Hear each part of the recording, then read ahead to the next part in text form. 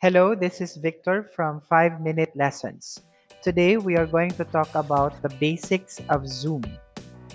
This lesson will allow the learners to know the basics of Zoom, specifically how to do the following tasks. Start an instant meeting, share screen, chat to everyone and to an individual, record a meeting, mute, ask video and remove participants, lock the meeting, and other security options. To start an instant meeting, simply sign in to your account. Then go to Meetings on the left side. Then select Personal Meeting Room. On the right side, select Start Meeting. Then choose Open Zoom Meetings. Wait for the desktop app to load. Then you can add participants by clicking the participants on the menu. On the right side, click Invite. On the new window that appears, select the email service to send the invitation. So for this demonstration, we'll select Gmail. On the new tab that appears, enter the recipient's email address. If you have other email addresses to invite, simply input them here. Then, click Send button. You can inform your participants to join the meeting by going to the link on the email they will receive from Zoom. Now let's talk about how to chat in Zoom. On the menu at the bottom of the desktop app, select Chat. To chat a specific participant, simply click his name. Then, send a private message. To chat the whole group, simply click Everyone in Meeting. Then you can publicly send a message. You may also select a file to send, which you can get from Dropbox, Microsoft OneDrive, Google Drive, Box, and your computer. You can also set the participant's ability to chat, whether to disable it, to allow the participant to chat only the host, to chat everyone publicly, and to chat everyone publicly and privately. By default, it's everyone publicly and privately option. Now let's talk about how to share screen.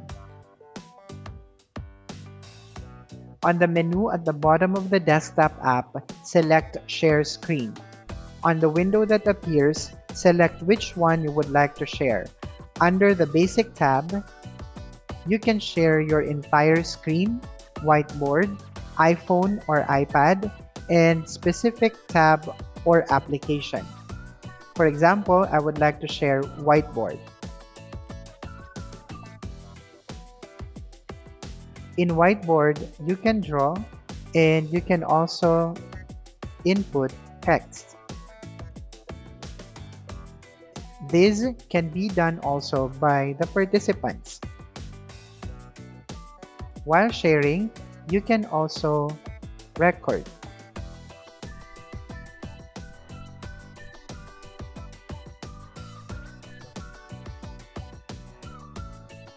After recording, you can click stop recording.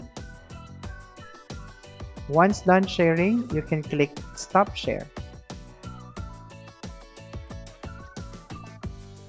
Now let's talk about how to record a meeting using the record option on the menu of the desktop app. Simply click the record. At this point, the screen is being recorded. Press pause button to pause or stop button to end the recording. The recorded file will be converted to MP4 when the meeting ends. Now let's talk about how to mute, ask video, or remove participant. Now let's talk about how to mute, ask video, or remove participant. On the menu at the bottom of the desktop app, select Participants. Hover to the participant's name. Select Unmute if you want to request the participant to activate his microphone. Select More button in order to chat with the participant. Ask to start video. Make the participant host. Rename. Put in waiting room or remove the participant. Now let's talk about how to lock the meeting and other options in security. On the menu at the bottom of the desktop app, select Security, then choose Lock Meeting.